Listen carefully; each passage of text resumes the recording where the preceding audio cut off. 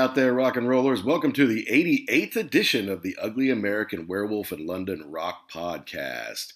Hosted by me, the Wolf, Mac B, uh, and my co host, Action Jackson, who's on the East Coast of America. And we hope you're all doing well. We can't thank you enough for all the support and all the listens we had on last week's episode, our interview with Steve Hackett, the legendary guitar player, ex Genesis member, who is a member of the Rock and Roll Hall of Fame, who's just on a whirlwind tour right now, and he just does not stop. He's been doing his Seconds Out tour for about a year here, maybe a little bit more, uh, and that kind of continues. He's going to be doing some stuff with Djabe in Europe here in August, and then in September, his Foxtrot at 50s tour starts in the UK. Of course, he'll be coming to North America to finish up some Seconds Out stuff, but uh, I'm hopeful, and a lot of North American fans are hopeful that he'll be continuing Foxtrot at 50 in 2023 in North America. We got a lot of great feedback and we really appreciate it. We really thank Steve Hackett, of course, for coming on. Someone who we wanted to have on for a long time and uh, and finally got him on.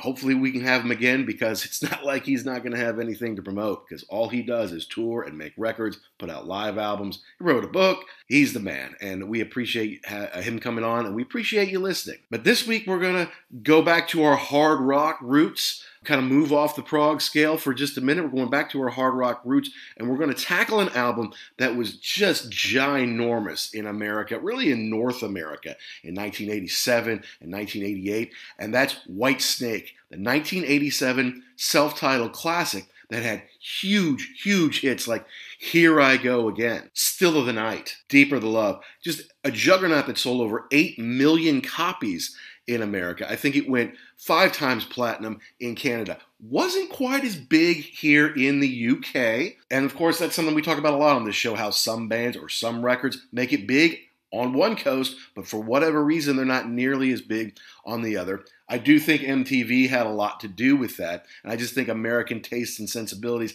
at that time in 87 were just, it all aligned great for Whitesnake. Course, they had some videos with a certain video vixen, Tawny Kitaen, uh, which really helped propel their popularity as well, which maybe didn't hit as hard over here in the UK. But it's not just me and Jackson this week talking about this classic. We've got a special guest in, and those who know us know that uh, we love Shout It Out Loudcast, the greatest Kiss podcast in the world, and they do have uh, I guess you would call bit of a side project they do about once a month called the Album Review Crew, where they get together and review a classic non-Kiss related album with their friend Sonny Pooni of Growing Up Rock. And Sonny was generous enough to come on to our show this week because this is his bang zone, if you will. This kind of mid to late 80s hard rock that was all over MTV and all over classic rock and popular radio at the time. Uh, and Sonny, he's a little bit older than us. He's got a lot of experience, been to a lot of shows. Uh, and so we get to know him a little bit on this show, hear how this album came into his life, how it affected him, uh, how he saw them on the tour, and, and what he's uh, and how he's experienced Whitesnake since. So Sonny, great guy, great radio voice. Uh, he tells some great stories on here, and we can't wait to get to that here really shortly. Now, a little bit of business. Of course, we are part of the Pantheon Podcast Network, a network of over a hundred or almost a hundred uh, music podcasts, music related podcasts of all genres. There's definitely something in there for you. And we do like to give shout outs to the folks we've worked with, either been on their show or had on ours, like Jay Scott from The Hook Rocks like Paul Richardson from This Day Rocks and Vintage Rock Pod, another guy with a great radio voice. And of course, the Kiss Kings, Tom and Zeus of the Shout It Out Loudcast. And Christy Alexander Hallberg of Rock is Lit. That's one you're going to hear about here real soon. Uh, and we can't wait for you to start to, to, to, get to know Christy and her cool podcast, which is uh, going to be part of the Pantheon podcast family. Also, we need to take time out to say thank you to our sponsors, rarevinyl.com, EIL.com. Been in business for more than three decades with over 250,000 items in stock of rare and great quality, shipping all over the world. So, no matter what your genre or what you might be looking for, whether it's a rare Kiss picture disc for the Shout It Out Loudcast fans, or it's a first edition Foxtrot for you Steve Hackett fans who want to be nostalgic and get a nice collectible before he starts his mega tour this fall. Go to rarevinyl.com or EIL.com and use code PODCAST, P O D C A S T, and you'll get 10% off your order, which always helps with things like shipping costs. And they ship all over the world. So if you're in one of the 100 plus countries that have heard our podcast, you can get rarevinyl.com to ship you the music that you want. All right, well, back to Sonny and Whitesnake. David Coverdale is obviously the star of Whitesnake, founded the band, always been in it. The only member that's never not been in Whitesnake, came out of the ashes of Deep Purple. Uh, and this is a weird time for them. I mean, he was writing songs with John Sykes, who'd been in Thin Lizzy and Tygers Pan-Tang, and he had some great uh, musicians like Don Airey, like Aynsley Dunbar, like Neil Murray to help him make the record. But then there was a bit of a mutiny, or David had to go under some surgery, and they maybe thought about going on without him. So after they made the record, he then put together an all-star group without them, you know, namely Rudy Sarzo, you know, on bass, namely Vivian Campbell and Adrian Vandenberg on guitar, you know. They made a lot of great videos and had huge success on this, millions and millions sold around the world, but the ones you saw in the videos and on tour that year were not the ones who made the music except for David Coverdale. So we're going to get into all that. Me, Action Jackson, and Sonny Pooni. We're reviewing Whitesnake's 1987 self-titled classic, right here on The Wolf.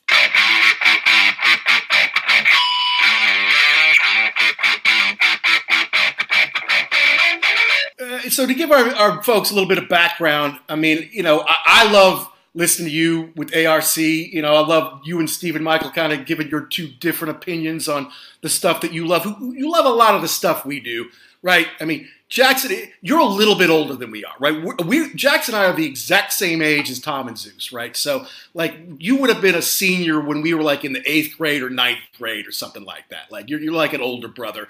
So, like, when, when 1984 Van Halen's hitting and we're 11 and we love hearing Panama coming out of the speakers, you're in high school at that point, right? So, it's, it's a little different from you the way some of this stuff hits you. And what we're talking about today with Whitesnake, that's probably like your senior year of high school, yeah? I came out, I'm a year out of high school, actually. Oh, okay. Yeah, I'm starting to make my own money. So at this point, I don't have to count on Christmas money and birthday money to go buy albums. I got a mm. job and uh, I'm buying the albums I want to buy. Yeah. So did you buy this one when it came out originally? Yeah. So I worked for uh, Target for 14 years. Sweet. And most of that time was in the music and movies area. So I knew every album that was coming out, every you know, Friday or Tuesday, whenever it would come out, mm-hmm. and we would have it, I don't know, a week before it distributed. And then a lot of the times we would play it on the TVs because it would be part of the promotion that the record company paid. Now, see, that's awesome to me. You know, I mean, getting music before it comes out because I remember when they would come out on Tuesdays for whatever reason they put records out on Tuesdays, and Jackson and I on Monday be like, okay, you know, we've got class at one o'clock. You've got class at two o'clock. But then at three, we get in the car. We're gonna go to Peaches. We're gonna get the brand new whatever album, you know, kind of thing. But if you got it ahead of time, you know, it's it's kind of like a couple times we've gotten because we're interviewing people on their new upcoming album.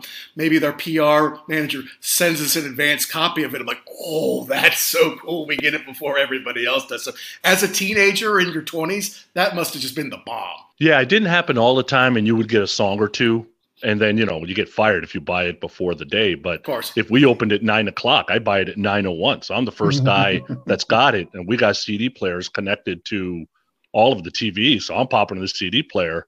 And I made some mistakes, you know, the Bullet Boys one two fu. Like I didn't oh, know it was going to start that way. You know what I mean? so I made some mistakes, but uh, for the most part, it was okay. Yeah, that's great. yeah, because when they started doing the uh, advisory sticker, on on the albums. You didn't know i mean you knew it was on there but you didn't know where it was and you didn't know was it like just one word or yeah was it prominently in the song? So yeah that was kind of a crapshoot. Yeah and i stayed away from you know if anybody looked like wasp i'm like all right i probably can't play that at work. Right. But whitesnake looked like you know clean cut leather pretty boys you know so yeah it's okay. Exactly yeah.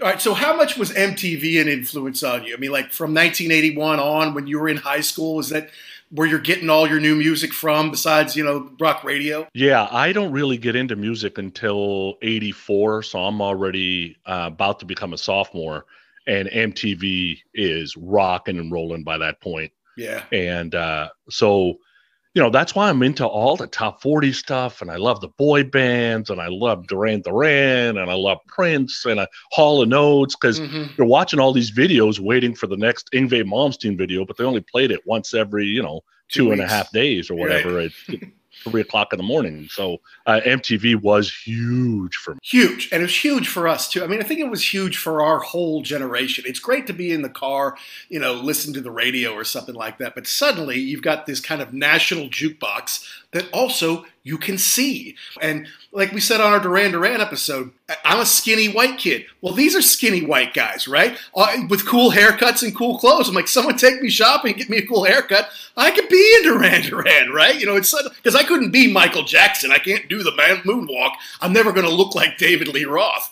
But I'm like, hey, look at Ric Ocasek. He's skinny, he's pale, he's got black hair. I could do that, you know? Yeah, it's possible. Yeah, my uh, running joke is you know, the best invention of my lifetime was the iPod. And if mm. that exists while I'm in high school, I don't graduate because I was already sneaking in auto reverse cassette dip decks with, you know, the skin tone color one piece earphone going through my shirt to my ear as I'm leaning on my right ear. You know, I'm doing that in English class every day, listening right. to, you know, Love at First Sting or whatever, and nice. coughing when the auto reverse, co- you know, flips or whatever. Um, you would think that I had a cold my whole high school career, you know, and then you went to carrying around CDs or carrying around tapes or whatever. But oh my God, if the iPod comes out in 84, I don't graduate. Like I'm a huge music nut at that point. Yeah, no, I when Jackson and I talk about all the time. You know, we, we didn't really have internet in college. But as soon as the internet was huge and all of a sudden Napster comes along in 2000, like I'm professional, I already have my own home, but at night after work, that's all I'm doing is downloading stuff. And I'm like, if this had happened 10 years before Jackson, we never would have gone to class. We'd be sitting in the room, you know, thousands of songs all day. Mom, Dad, I need a new computer. We just bought you one last year. I know, but that had 300 gigs. I need like eight terabytes, you know, for all this information because I'm trying to get every song ever made, you know, or if I heard it on the radio for 30 seconds in 1983. I got to have that album and I got to have every album they ever made, you know, to see if there are any more like that one song, right? So, yeah, we're, we're kind of fortunate for the time we were born in, I think. Yeah, Napster, uh, you know, by the time Napster comes out, I'm almost in my 30s. I was using it as I use YouTube and Wiki today mm-hmm. as a mm-hmm. black hole thing. So it's like I got to go get everything Whitesnake. I've right. never heard "Looking for Love." Like I don't remember. I didn't get the single. I bought the album. So why the hell would I go get the single? I already got the album. I didn't. Exactly. I didn't think about CD singles all the time, you know. And uh, so when you were going to a black hole, yeah, I would say that I. Uh, not that they can do anything to me now, but uh, yeah, I uh, partake. I partaked. Is that a word in Napster, even though it was illegal? Yeah, no, I mean. Yeah.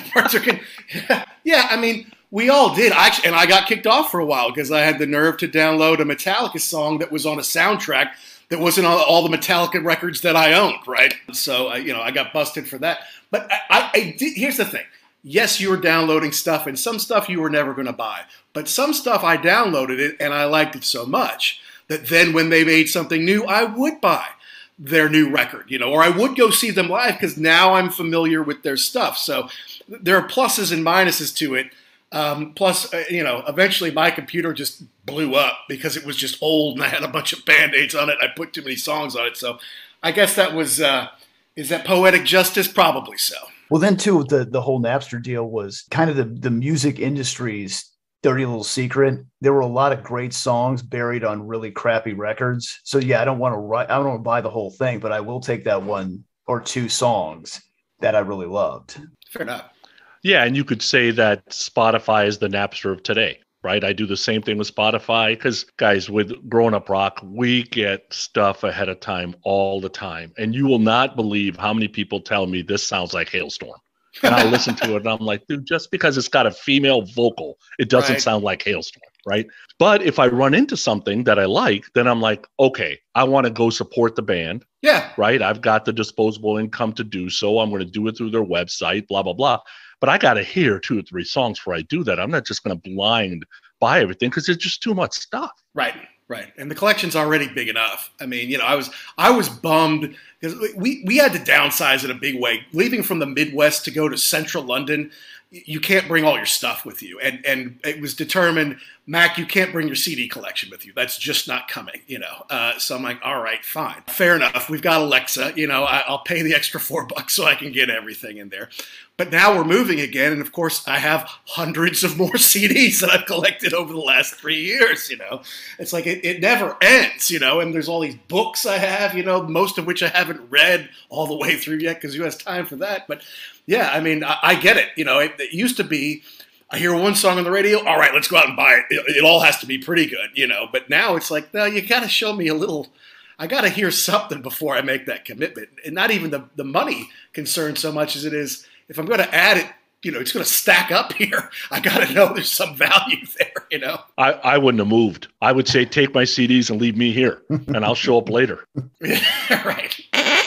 Hi, guys. This is Chris Slade, drummer of ACDC and many others. And you're listening to the ugly, I mean, really ugly, werewolf in London.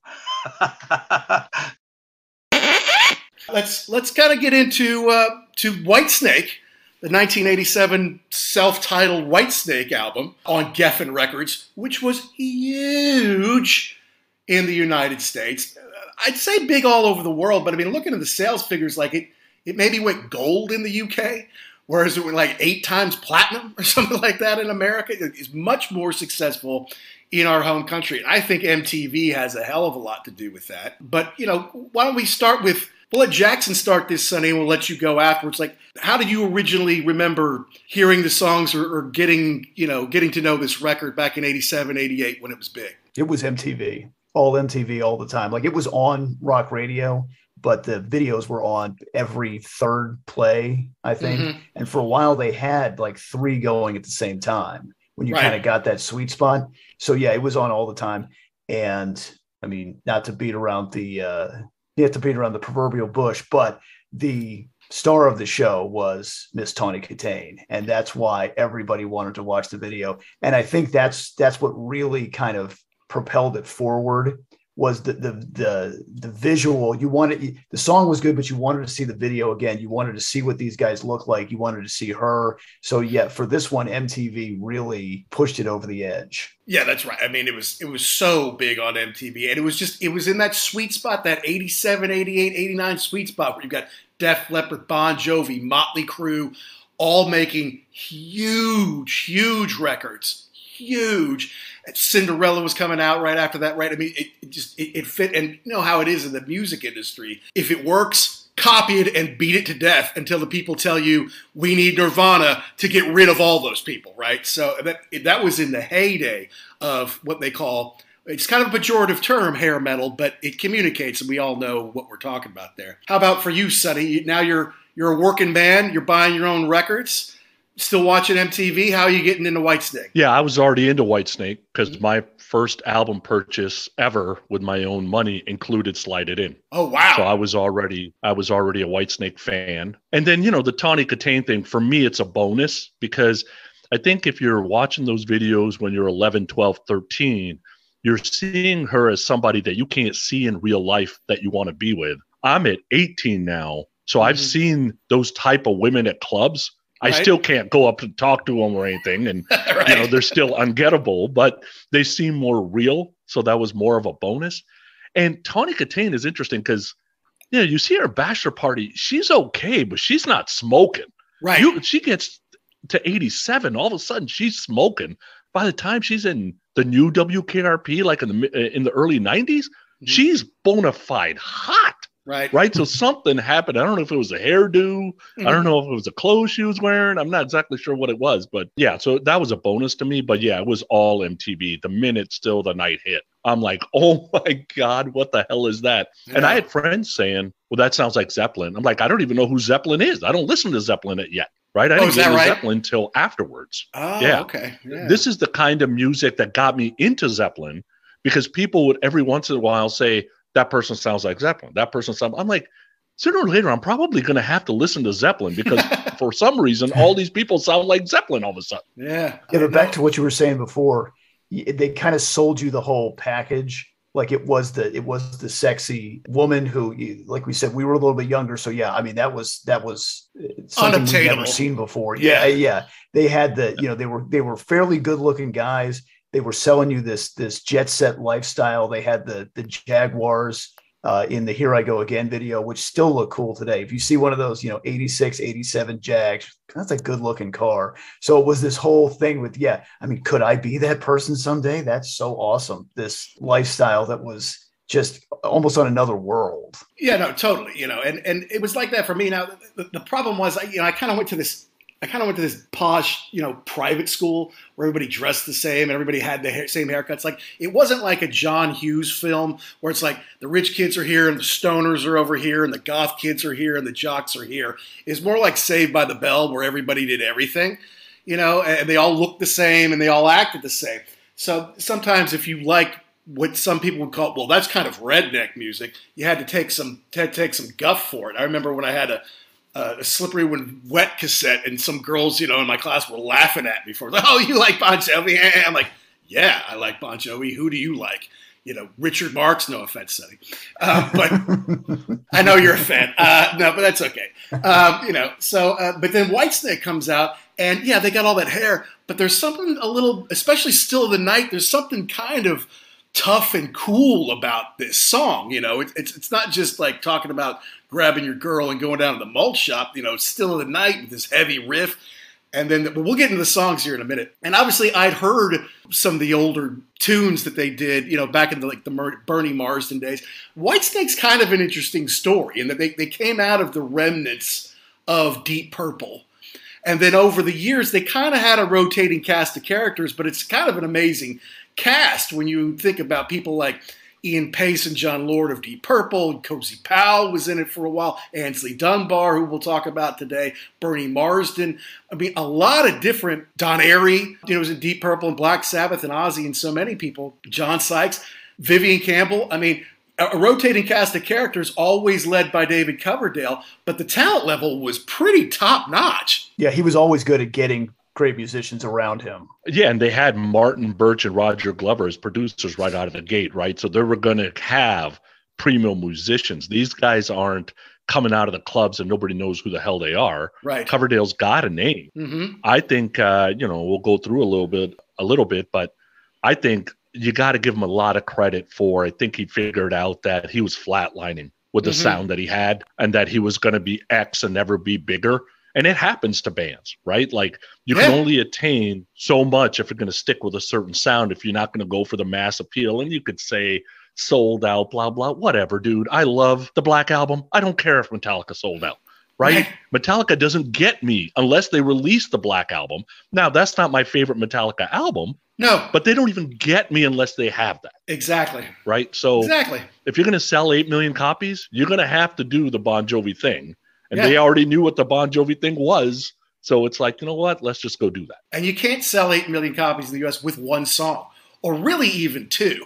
Two big hits helps. Maybe you can get to three or four, but you can't sell eight, 10 million copies, you know, unless there's a bunch of songs on there and it all kind of fits together and is of the era. So, yeah, say what you want, but I mean, we got to give some credit to John Kalodner of Geffen here, the A&R maestro, Rock and Roll Hall of Fame member, who put John Sykes and David Coverdale together. Because I think Coverdale, after sliding in, he's like, okay, I'm going to take a break. But then after a couple years, I think he was broke. It's like, it wasn't back then he had all these royalties. He didn't write Smoke on the Water or anything. He was in latter day purple, right? So he, he kind of burned through all his earnings. Like, oh my God, I got to get back up on the horse again. So I think he was ready to try something. But it's Kalodner and Geffen and, and David Geffen's muscle that, that kind of helped push this into the great success that it was. And I think there was a story too that this album kind of had a rocky beginning and Kalodner was told basically that his job was on the line with this thing. So I think it kind of really lit a fire under him. Like this has to be big. We have to do whatever we need to do to get this thing to blow up. And back to your point before, Mac, having three or four hits at the same time or kind of in a row, it propels it because it's always there. It, it once one kind of falls off, they have another one to replace it, and that's how you get your eight million albums sold. Yeah, yeah. There's there's only two ways. It's either what you guys are talking about, where it's got to be you've got a few songs that the record company is pushing You add a vixen to it, you get some sexiness, you got the class of being an Englishman, you got all this stuff like working to kind of roll you down the hill. Or you got to be unbelievably lucky and there is nothing else out aka metal health. Right. There's nothing else on the charts, and you can go number one and have a long lasting career. Now, Quiet Riot's not the Quiet Riot of old, but even if Dubrow was around, I'm not sure they're selling, you know, theaters. They're still right. probably selling clubs, but you can have a number one album, but then you got to get lucky. That's right. No, no, you're right. And, and who kept them from being number one? It was like Whitney Houston or, or, Michael Jackson's Bad. Like they got to number two with this album. They never quite got to number one because some serious, serious artists were ahead of them. You know, even their singles maybe lost out to something like Faith by George Michael, which may not be my favorite, but it's a huge song, right? It's, everybody lost out to that song that week. It's not your fault, you know, kind of thing. Uh, but I want to take it back to what you said, Jackson, because I didn't know that about Kalodner, but it does not shock me because when, when, I saw the documentary about David Geffen, he sold Arista, which had Beatles and Jackson Browne and all that in the 70s.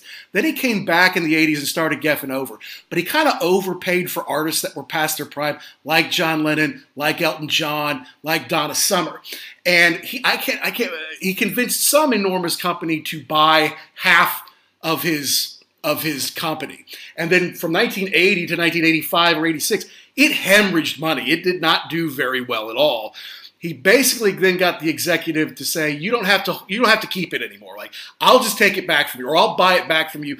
You don't have to have it. And then from 86 into the 90s that's when it took off when it exploded because they had aerosmith and whitesnake and eventually nirvana and all these people. But at that point, yeah, I believe that John Kalodner's probably job was on the line because Aerosmith hadn't come back with Run DMC yet, and there was no Whitesnake, right? And there, you know, they they still had all these legacy bands that weren't really selling that well. So it's it's interesting that someone like David Geffen was kind of on the rocks when now he's one of the most powerful people in the history of Hollywood. Well, and I think too was a deal where you pushed this deal, you pushed these guys, and you said this was going to be big. And I've got, you know, like you said, I've got people barking at my door to get these things done, and it, it, you have to, you, this has to happen. And then it, there was something with with Coverdale where he had sinus surgery or he had this whole awful infection, and so they had done some work on the record, but then it kind of just dead stopped, and so the bills are piling up. Nothing's happening. Everybody's upset. He doesn't even know if he's going to sing again.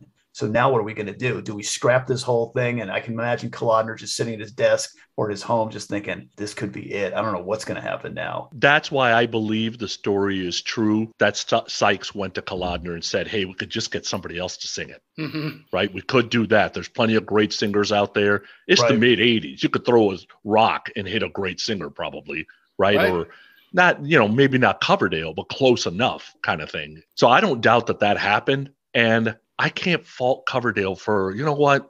I can't trust any of you guys. Right. Like, you guys got to all go. Yeah. And see, and that's what I didn't, what I didn't get until I started doing research for this. I just thought Coverdale was like, nah, I'm tired of you get away. But it really sounds like he thought they were all out to get him. And now, of course, Sykes swears up and down, well, never do that. I would never say that. But yeah, to your point, Sonny, I can imagine there was a time where it was like, we need, yeah, just pick somebody else and let's do this. Yeah. Well, the problem is David Coverdale's the founder and owner of the Whitesnake name. You can't just kick David Coverdale out of Whitesnake. You can kick anybody else out, but you can't kick him out.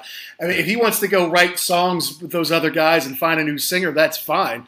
But you know, it doesn't work that way, Sykes. So you know, I don't know. But I mean, they did great work when they were together. I mean, look, I, I like John Sykes, and I like the work that he did in Tygers Pan-Tang. Not a lot of people know that, know their music that well. At least not in the states. There's some folks over here who still remember it from the new wave of British heavy metal days. But but John Sykes is fairly unknown in the U.S. to the casual rock fan, but he's a hell of a guitar player and he, he wrote all these songs, you know, which are all hits basically. I mean, except for uh, well, we'll get into the the fine details, but he's all over this album. Yeah, and, and really a, a hell of a guitar player too.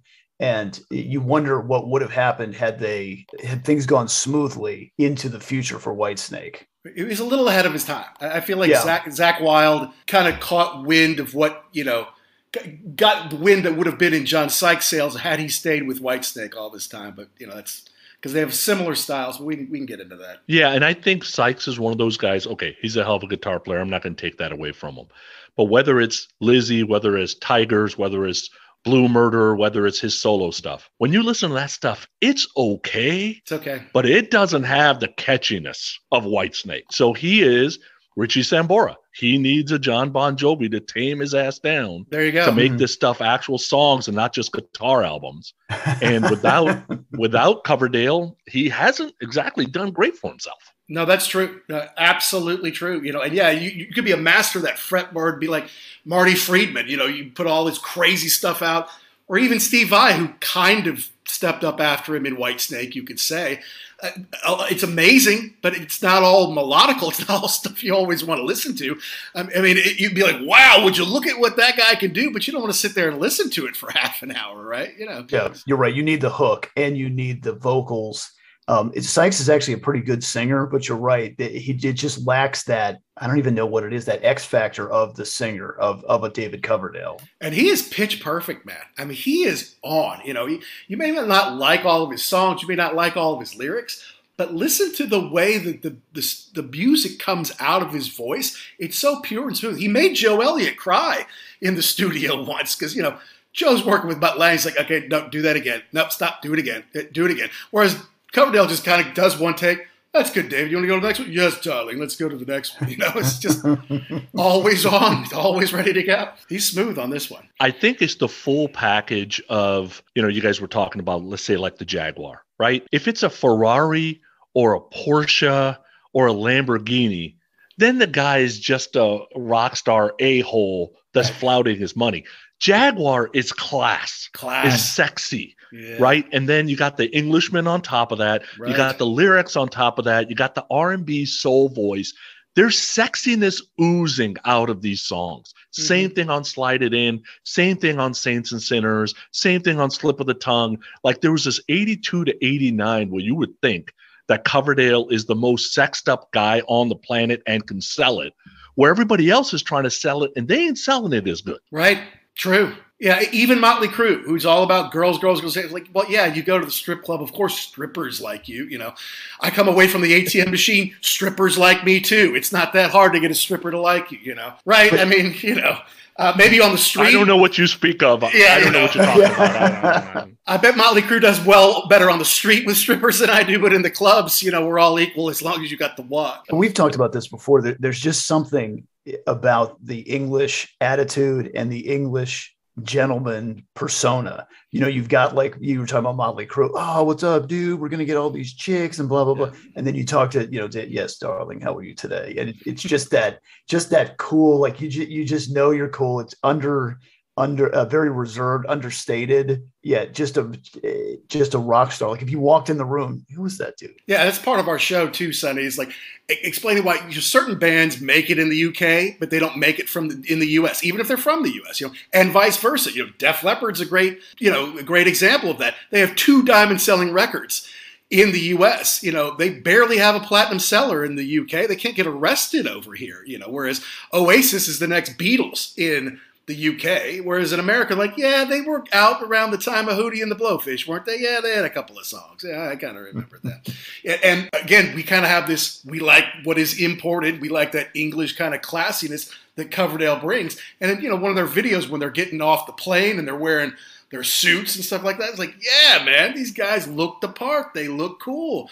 Whereas, you know, sometimes something that's cheesy in America, you export it and they're like, oh, it's American. Let's go buy the, the next great American thing, which we don't really like, you know, in our hometown. So it's part of the dichotomy of UK, US. You'd think we're such good friends, but yet we're still very different. Yeah, like I'm into a lot of the new Sweden bands.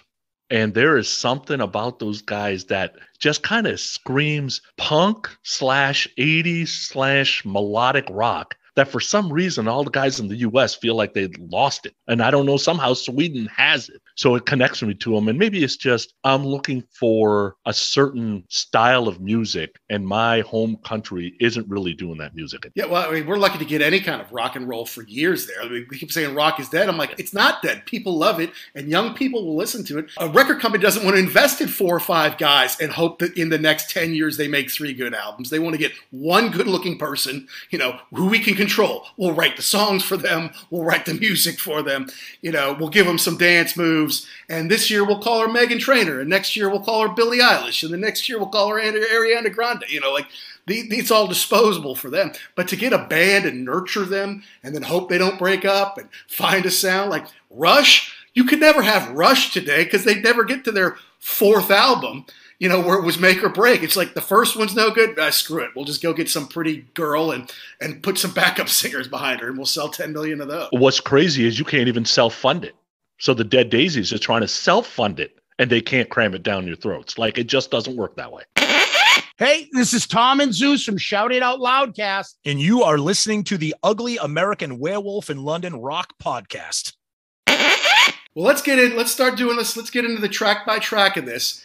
And I guess we should do the US version. But as I'm sure you guys are aware, there were two versions of this album. There was a European version, which had two more songs, clocking in at more than 53 minutes. And then the US version was, was nine songs, five of which were released as singles, and it clocking you know 42, 43 minutes. So we'll go in that order, but I'm going to point out along the way because being here in the UK, when I'm doing research for this, I go to YouTube, I could put in Whitesnake 1987. It automatically plays the European version. It doesn't automatically play the US version, which I have somewhere in my CD collection, you know, in a storage facility, probably just around the corner from the Lost Ark of the Covenant there. All right. So.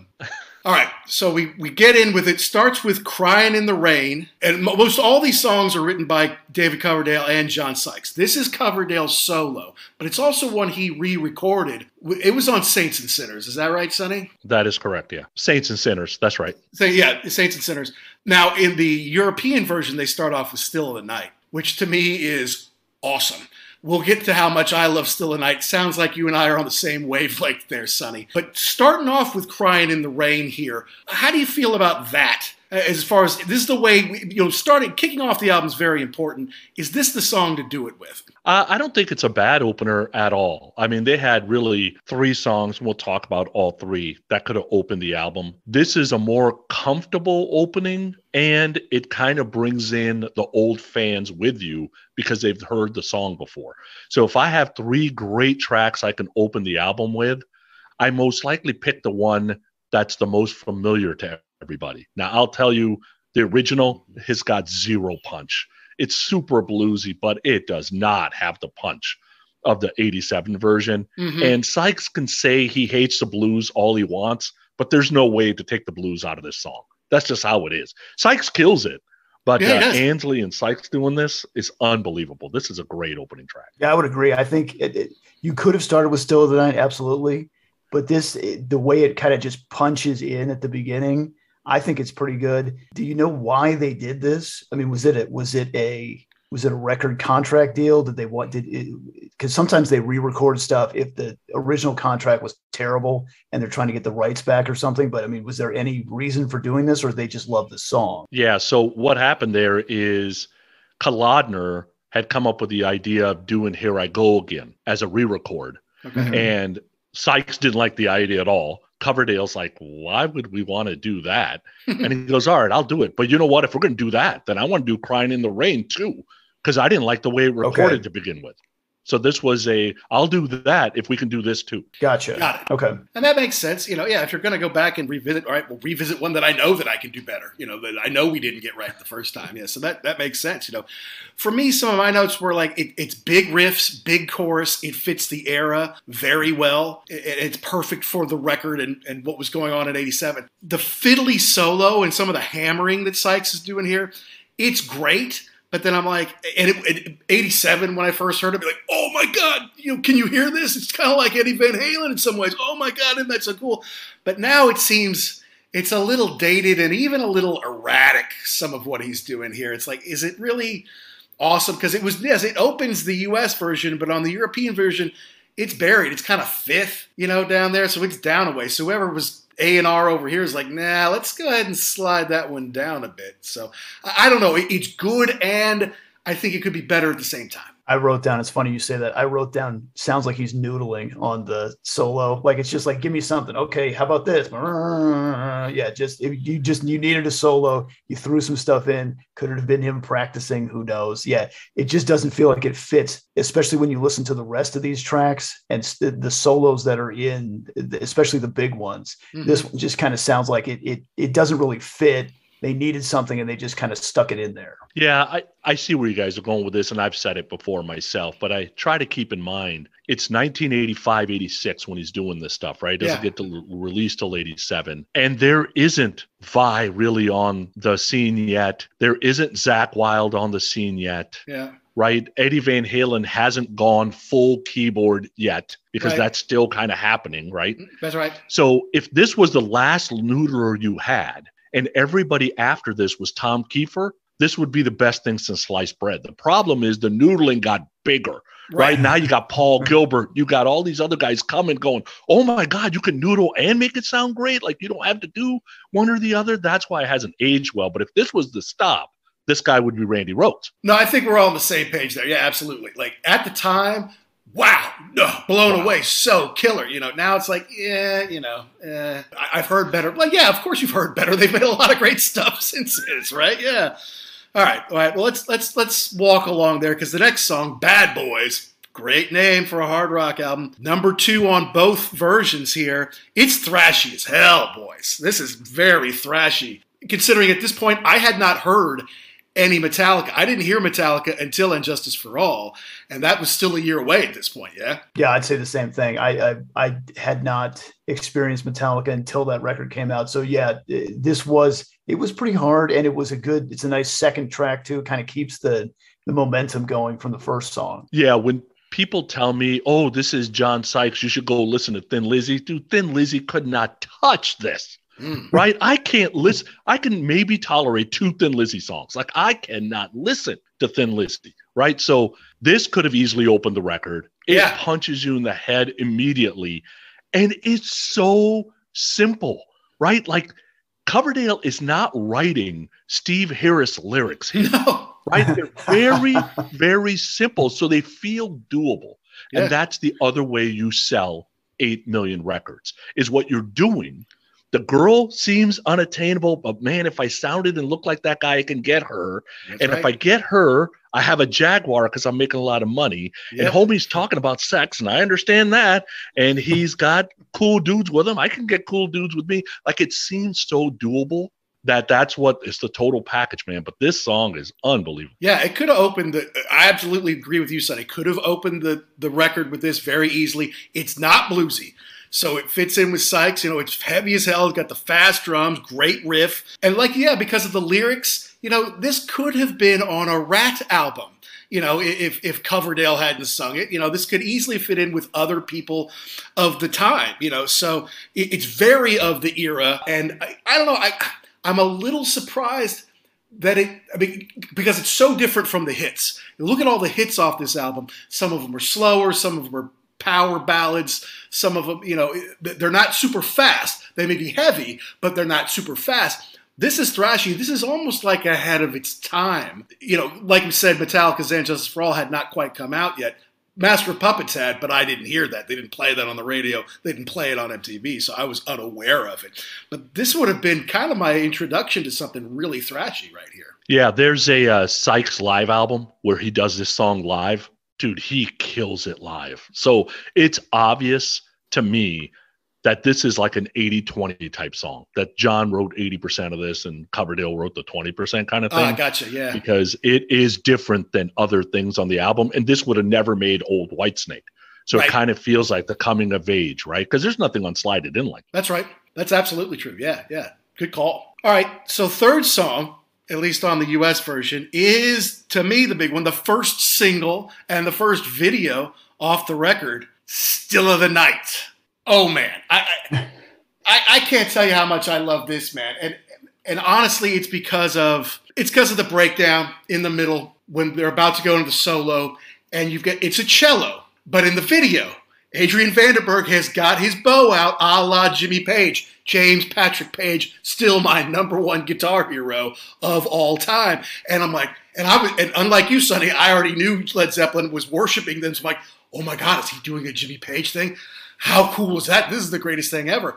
Now he's not doing it, but it looks good in the video, you know. And the video itself with the stage and Coverdale posing in front of the moon silhouette iconic, dude. Such a big time song. Yeah, this one is going to be, this will last forever because it will be on every 80s movie forever. Any movie about the 80s or a spoof about the 80s generation hair metal, this will show up over and over and over. What I think, I love the song. I don't care if it's Zeppelin influenced. Yeah, Plant could do this. He probably can't sell the sex of it, but he could probably do the song. Okay, whatever. I don't care about all that. Right. I think the interesting story here is so he's coming back from surgery and he's ready to go in the studio and he's ready to do some tracks finally after uh, you know a while and Sykes is pissed off, everybody's pissed off. Keith Olsen says, "All right, well, let's start with Still the Night." And Coverdale's like, "Are you nuts?" He goes, "Just I'm not going to hit record. Just try it a couple of times." Coverdale does two takes. Keith records them both and a mix of the two takes is what you have on the album. That's it. So that is amazing, dude. yeah. That's no wonder he made Elliott cry. I'd cry if somebody did that.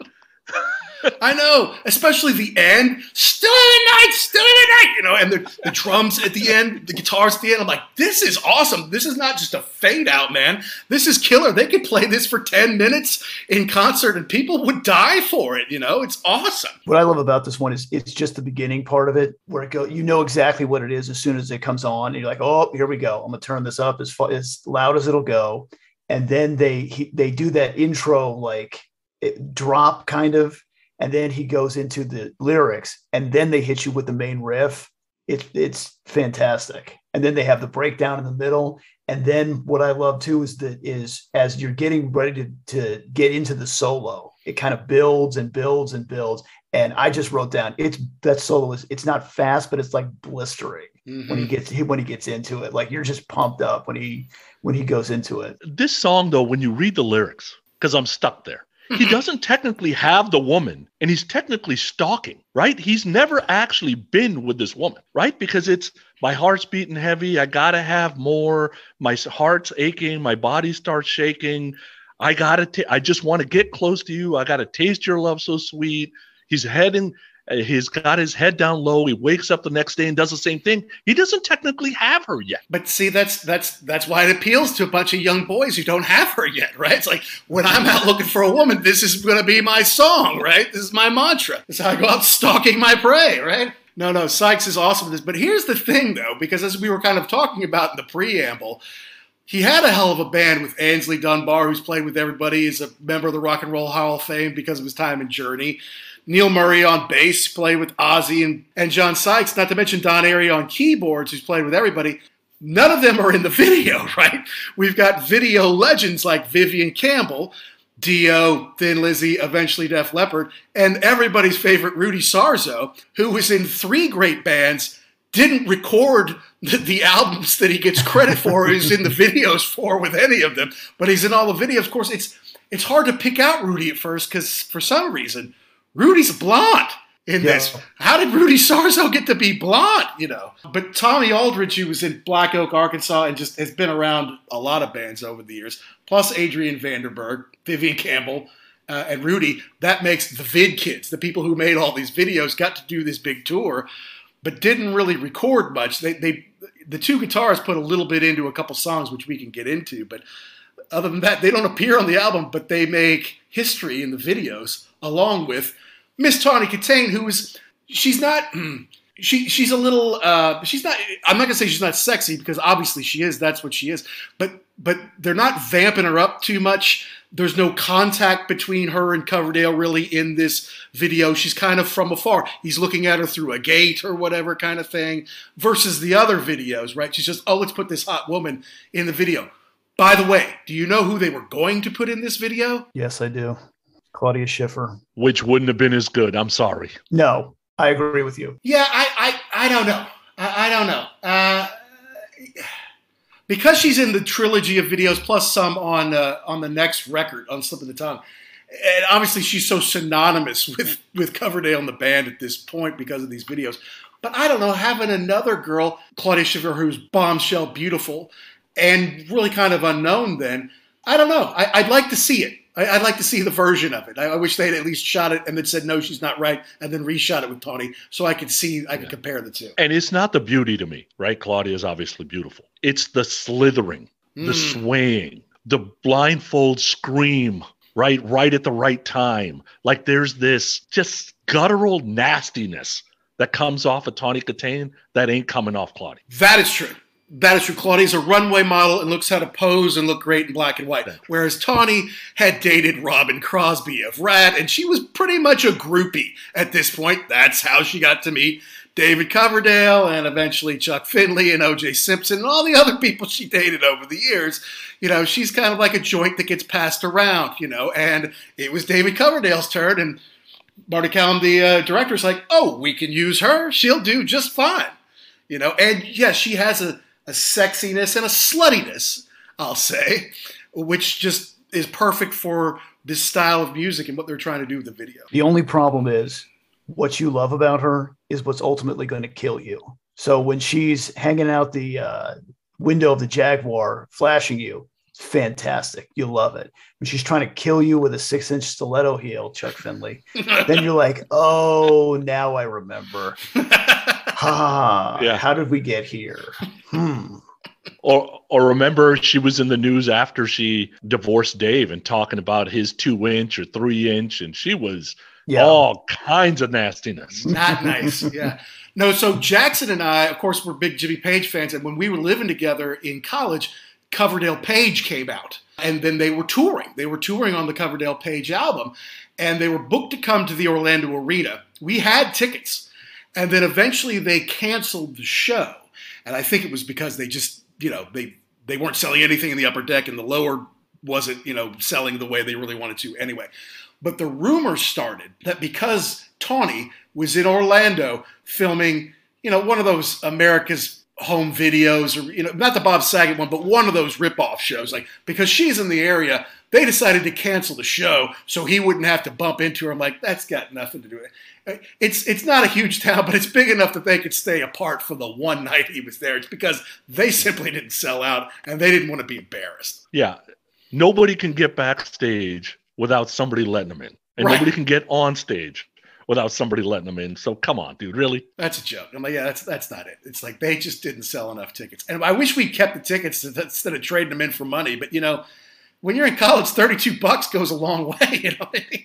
Oh yeah, that was gold. Yeah. yeah, you're right. That would have been nice to have today, but yeah, that was that was several hundred dollars back then. that's right. That's right. All right, let's move on because next is big one, the big one, boys. Here I go again. Number one hit single, second release off the record, and another rewrite that he'd done with Bernie back on Saints and Sinners. You know, and you're right, Sonny. It's uh, it's not just it, it's it's very different because I didn't I had to go back and listen to it. Like, is it really different, or did they just kind of clean it up, give it a 1987 polish? It is different, you know. And Sykes did put his flavor on it, which helped make it such a huge hit. Yeah, and we know Sykes didn't do the guitar solo right. He was pissed about doing this are you right? He didn't want to do it. Mm-hmm. And I don't know if he thought that it would be a hit or is just I don't want one of my songs to be off the album and possibly make less money, right? So, you know, we kind of talked about Neil Murray and Aynsley and Don you can't ask them to stay on, even if Coverdale doesn't get rid of them or they leave on their own. And some of those guys left on their own. Sure. They didn't write any of these songs. So right. the reality of the situation is they know Sykes has got money coming. They don't have any money coming unless right. they're touring. Right. So they're like, we don't know what's going to happen. Right. But I'm telling you this, you want to talk about a hummable song that you hear at the mall on Muzak, yep. in elevators, Kidz Bop. Like it's like jump. It's going to be everywhere forever because it can be. And if you think it got lucky, so I, I saw the, t- I looked at the top five when it was number one. Okay. If you think it got lucky, number five at the time, you got the look Prince. Wow. Number four, I heard a rumor, Bananarama. number three was Carrie by Europe. Number oh, wow. two was Lost in Emotion by Lisa Lisa and the Cult Jam. And then the next week, Lisa Lisa went number one. So, in exactly get lucky.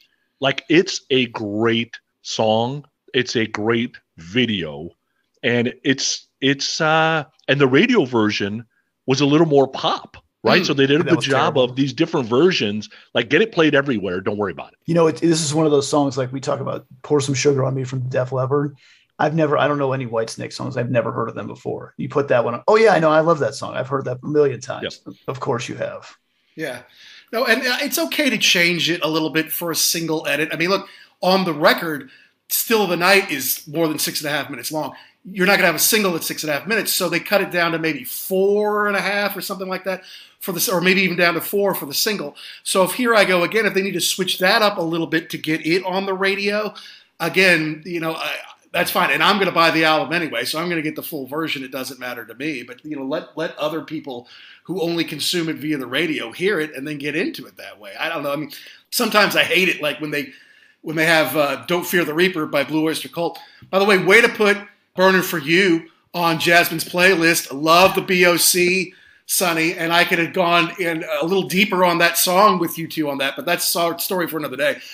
But sometimes, because there was a single edit version of Don't Fear the Reaper that basically takes out the entire crazy solo in the middle. I'm like, but dude, that's the song. I mean, that's, you know, the, the breakdown, then coming back all huge like that, and then you come back with the final lyrics that matches the beginning. That's the song. Like, you can't just cut it off like that. So, you know, small changes I'm in favor of. Yeah, and I know I knew that the Sinners and Saints version was out there, but I think I guess I'd never really heard it. And one time it came on the radio, and what is this? this doesn't sound anything like that. So he, they changed it up. They changed the lyrics. Yeah, I think it was one of those uh, Kalodner deals where he wanted he he needed a hit, and he thought this was going to be it. Yeah, originally it wasn't even going to be on Saint and Sinners. So Coverdale has said in interviews, uh, you know, he was hammered all the time, drinking like nobody's business. His original marriage is on the rocks. Band members are fighting like it wasn't even going to make Saint and Sinners. If it doesn't make that, it probably doesn't make this album. Right. Right. Because I think Kalodner he- heard something going, you can make that better and it will fit what's out there right now on the radio. Good and call. I think wasn't this wasn't this one of those deals where like Coverdale? I mean, I know it's credited to both Coverdale and Bernie Marsden, but isn't it one of those things where Bernie says he wrote it, he came up with the original, and Coverdale says, no, no, no, I wrote this because of a breakup. And well, didn't he knows? say no? But then he said it was something that he and Blackmore had worked on way back in the day, but that it was so unrecognizable from from what he and Bernie eventually did that he didn't have to give Ritchie any credit, you know. So yeah, it's kind of you get four different stories, right? Yeah. this video is unbelievable, right? Huge. So you got okay, you got Tawny doing the gymnastics or whatever, right? Mm-hmm. And then she's hanging out of the jaguar like a dog would hang out their yes. neck or whatever. and so I send it to you guys. So at mm-hmm. 219 when she's coming out of the car, she's not wearing a bra. So there is a nipple showing. So freeze it at 219. It's there. I'm telling you. Yeah, exactly. No, and I did. I looked really closely just to make sure you were right because I have to verify things on our show. That's what I do. Research. I'm the, I'm the fact checker. Yeah, you know, if Sonny says there's a bare nipple at 219, it's going to be frozen at 217, 218, 220, just, you know, just to see. But no, you're right. So it means MTV was showing bare nipples back then. I, this is iconic video for so many reasons. Her dancing on the Jaguars, her with her wild hair and his wild hair meeting together, and she's singing it too. She's smiling into the camera. Here I go again in her green. Oh my God, you know, and then she's pulling him into the back, you know, while he's driving. Like, that's dangerous. You know, I mean, hanging out the window is one thing, but you don't pull the driver into the back. It's a great way to, to get hurt, you know. But no, even Paula Abdul, I think they brought to the set to say, well, let's teach Tawny, because they only took Tawny the first time because, like, Claudia fell through and, like, all right, she's hot, she'll do. She's been on some Ratt covers, we, we can use her. And Paul Abdul's like, no, I don't need to teach her anything. She knows how to move. I'm like, yes, she knows how to move. Why do, why do you think these rock stars all hang out with her? And they, she's basically the new Pamela Des Barres. She gets to go from one to the next, right? So, but no, that is dangerous. Don't please don't try that at home. Please don't try reenacting this video at home, kids. But here's the thing: on the European version, there are only nine songs on the U.S. version. This is song number ten on the European version. So you had to listen to the whole record basically before you even got to this. So European A&R must not have thought much about this one. You know, and it was it did fine over here in Europe. I mean, I think it went platinum as a single here in uh, here in the UK, but uh, but not like not like being when you're number one in America. That's enormous, dude. That that's so huge for airplay, for record sales. That is money and fame and eternity. Let's go look at Will Ferrell in old school with the Red Dragon, you know, revving it up to here I go again, man. It's it's always going to be a part of pop culture. Well, that's an interesting deal too because it, it's two different. Really, it's just two different albums. Like the U.S. version was Geffen, and then the European version was something else. It was on a different record company. So I wonder if that's like you said, it's just two different A and R people, the two people attacking this thing two separate ways and not coming up with the same answer. Yeah, and the video. So can you imagine? Like, okay, so you're directing this video. You got Tawny doing what she's doing, fine. You got Dave with her, that's fine. You tell Dave do some mic stand moves. I guess you tell Rudy lick a bunch of stuff. Right. You told you tell Adrian tell Adrian do a bunch of twirls. You tell Vivian, hey, you know what, just way back and forth, don't do much. And you tell Tommy just to twirl sticks and you kind of just flash to this vid kids that are doing all these things. I thought, I'm like, is everybody supposed to lick their bass? Like I'm 18 years old when this is happening. so I, am like, I've licked a bass. It doesn't play like that. You have to actually play it too. Oh, it's so fun. It's so good. It's so true too. You know. But here's the thing. I mean, we take MTV for granted. Most people over here in the UK 97 did not have MTV. And maybe you would see them on top of the pops. So if it got into the top 40, maybe they would play the video that week maybe you know and i think there was a couple other video shows over here but not everybody had mtv we took it for granted i mean in 1981 maybe only 30% of the people had it but by summer of 1982, it was like 98%. Like if you had cable, you had MTV, you had to.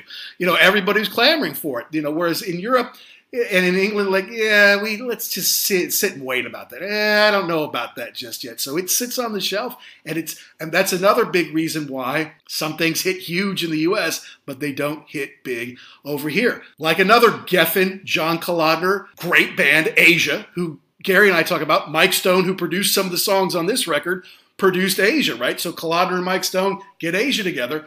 They're big here. In, uh, rather, they're big in America. They're nothing over here. You know, I've sat with Asia's PR person. She's like, in '82, I didn't even know who they were. I loved Yes, but I had no idea who Asia were. You know, so it's just the way it is. Now, speaking of production, real quick on this one, is isn't there some? There's a rumor that actually Bob Rock came in uncredited to mess with Sykes guitar sound because he was he was I think he was friends with Kalodner. Yeah. Okay. Yeah, I think Sykes was trying to get a specific guitar sound and he couldn't quite figure it out, and Bob helped. What I was going to say is what's interesting with this thing, and you know we haven't talked about it yet, but this whole thing about changing the word hobo to drifter, so right. people didn't think that Coverdale was saying homo.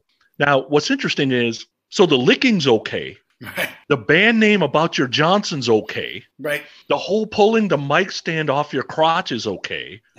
the showing the nipples okay. The girl pulling you back into the car and the car crashes is okay. And you basically oozing sexiness is okay, but you want to make sure nobody thinks you say homo. Correct. Well, I mean, you want to be a hit in America in the Reagan era, you better leave that homo stuff out. well, you know, the, the and the other the other funny thing too is they were talking about that but I'm like, when you hear the original version, like hobo, is this 1925? Who uses that word anymore? What? See, jumping on a train to yeah, exactly. Kansas City, the, you know? yeah. With the stick with the red bandana on the end, like what are we doing? exactly. And Drifter does point. Drifter, you, you could, I obviously the lyrics famous to all of us. Like a drifter, I was born. Like a hobo, it just doesn't sound right. Even if you don't, even that homo doesn't come into your brain, which it probably wouldn't for me. Drifter just sounds so much better. I mean, being a drifter, well, this he's an outlaw, right? He's doing his own thing. Hobo's like right. he's got no job, he's unshaven, he smells bad. You know, it's. It, it's to me, it's more of an image thing that's like, oh, I hope they don't think I'm gay thing. Yeah, you're right. Drifter does sound a little more like it could be badass. Like, you know what? I don't play by my own rules. I kind of just go where I please. Yeah, hobo's like, man, I hope I get a sandwich today. Yeah, a, uh, a, drifter is a nomad or a vagabond. A, a, a, hobo is a homeless guy who smells bad and hasn't had a job. You know, it's it's different. And I know we're just talking about words here, but you know, you could talk about the albums too. Like if you had, like I did I had the US version of Slide It In. because mm-hmm. to me the European version is unlistenable.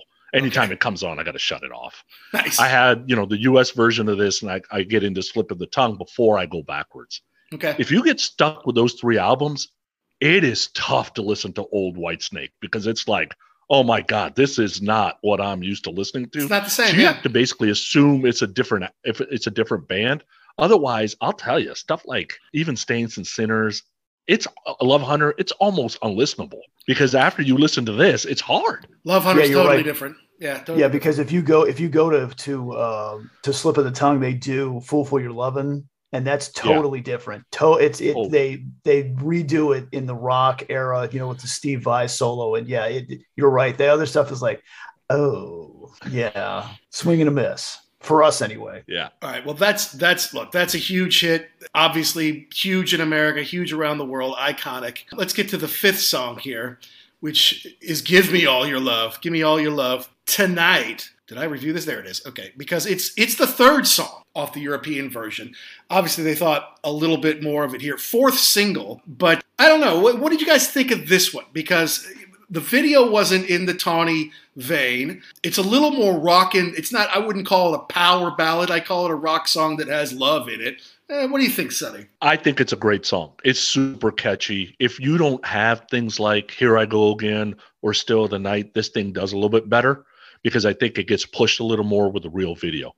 Now, I'll tell you that I watched the video the other day and I'm like, what the hell is that solo? And I forgot Vivian did the solo on the video, but it's a Sykes solo that's on the album. And right. Sykes solo smokes Vivian solo. So to me, super catchy. But dude, the lyrics. So the lyrics about this crazy chick that you want. And I'm talking crazy like public nudity, public sex, may show you a thing here. I'm not talking like bank robber, kill people crazy. I'm talking about, you know, the other crazy, the right. like you crazy, not the throw a heel at you crazy. You right, know, right. That, that, you know, but the, the lyric, the lyrics are so simple. It just makes you, and I, I, I tried to be a musician. I wasn't a great one, but uh, so I landed at lyrics. So it felt like I could tell a story better. And when you read stuff like this, it's just like, God, anybody could write this. It's just, you got to be creative enough and think about it. And there's, a thing about timing, I guess. That's right. I'm I'm in the same I'm in the same boat with you. I forget that the video does not track with the album, and so yeah, you, the rest of the song is pretty much exactly the same, except for that Vivian yeah. Campbell solo. I love Vivian Campbell. It's atrocious. The John Sykes solo is phenomenal, and you're right. This if you take out the lyrics, it's a great song. It's almost like I'll listen to the music and kind of push the lyrics out because you're right. Anybody could have done that. It's a rocking tune. I think th- this is probably one. This is number either one or two solo on the record for me from John Sykes. Yeah, no, Sykes stands out here, it, and it's the only thing that Vivian ever recorded for Whitesnake, right? Because he, he he came in to do the tour, but it's like, okay, no, we got to do the video they, they change up the solo so that's him you're right it's not it's not his best effort and it and it pales in comparison to what sykes did do and you know it's it shows them coming off the plane going to the show like they're rock stars now versus the you know tawny being slutty all around them kind of thing so um, you know i guess they wanted to change that up or what was probably like all right we're going to pay for three videos but that's it. And then the album continues to do well and the hits really take off. It's like, okay, we're going to need a fourth. So why don't we do a concert one? I think they filmed that like at the Meadowlands when they did a concert yeah. there. Jackson, I, I, don't know. The soloing had lots of flash. I don't know how meaningful it was, like within the parameters of the song, but I'm like, it's a great solo. I, but like you say, I mean, it's, you know, the lyrics are easy. They're I don't say they're cheesy, but it's like they don't really stand out. It's like this kind of fits with the era. It fits on the record, but it's not like I, I remember hearing it on the radio. It's not like I can't wait to hear "Give Me All Your Love Tonight." But then I hear it, it comes on. I'm like, oh yeah, I'm start tapping my toe and popping my head. I'm like, yeah, I remember this one. This is all right. it was almost like they had the song and they were like, hey, we need some lyrics for this. Uh, okay, give me four minutes and I'll be right back. I don't even know your name. I can't leave you alone. I'm running like a, around in circles, like a dog without a bone. Sounds hey, good. Go. It rhymes. Go. Right. Use it. You want to do a second take, David? No, that's good. Go to the next one. Is this love? In a way, this was almost bigger than Here I Go Again. It, it wasn't. It, it didn't end up kind of being that kind of cultural touchstone that everybody remembers and puts in movies and stuff like that today. But because Is This Love is a power ballad, if there ever was one, you know, and it's the triumvirate of Tawny, you know, being all slutty and everything. And this is at her very, very sluttiest, right? This is, you know, the first one, Still the Night, she was from afar, didn't really see her all that much. The second one, okay, they're hopping around on a car and in a car together. But this one is her barely clad, dancing for him in the bed. This is more than just PG 13. Like, they might not have played this in Alabama until nine o'clock at night. You know what I mean? Uh, originally, the song was written, I think, for Tina Turner or somebody, or it was written for Geffen. And then, and then Coverdale and Sykes were like, no, I think we're going to go ahead and keep this one. So not I, not originally a Whitesnake song, but then they and I don't know what the version was that they were thinking, but I mean, it, thinking of giving to Geffen. But I think it, it sounds great, and you're right. It, Tawny is just, it, especially for a what? How old were we? 13, 14 at that point in time. Holy Christmas! Wow. Yeah, Mac, I would tell you this album is almost like a porn soundtrack hidden in pop rock songs. A little bit, yeah. Right? And yeah. even in the video, when Coverdale's like looking at the camera, it's like looking to your eyes like everybody's a piece of meat. Mm-hmm. Like anybody who comes by, he's going to do kind of thing.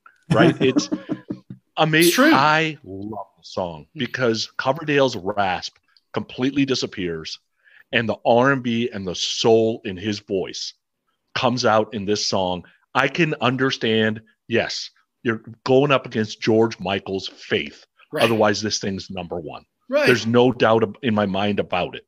Right. And it kept the album going. And this really probably sold the last two, three million copies. Yeah. Because this was the song that I think, like, if you're going to hand a song to Tina Turner, I'm sure not just every schmo can write a song for Tina Turner, right? She mm-hmm. was hot at the time. Everything she was touching was gold. Absolutely. Yeah. Absolutely. No, no, uh, no. He, Eddie Trunk, it's on his pre-roll in his in his podcast. Like originally, I wrote that song for Tina Turner. You can hear him say that, you know. Yeah. And yes, he did, you know. Yeah. But they make it work really well. And let's face it, guys. Mostly guys like us, testosterone fueled guys, are buying hard rock albums because of stuff like Still of the Night and Here I Go Again and Bad Boys and stuff like that. But as soon as you put this on there, your audience suddenly doubles, right? So if you've sold three or four million copies and the girl's like, yeah, I know that song my boyfriend likes. Oh, I know that song, yeah. But suddenly you've got a ballad now, they've got an excuse to go out and buy the record as well because they already know a couple more. It's like, oh, and they've got that pretty one on there I like. You know, it's like Home Sweet Home for Motley Crue or Silent Lucidity for Queensryche. It's like, you know, you get them in there with the, the ballad and your audience can double overnight. Right. And, and we've talked about this before. It's nice to have something that you can put on the turntable when the missus comes over and not screaming for vengeance. Well, that's right. Yeah. And I'll tell you what, for all the noodling that Sykes is doing on this album, to me, this is his best solo because it is so restrained mm-hmm. and it is absolutely beautiful, made for radio.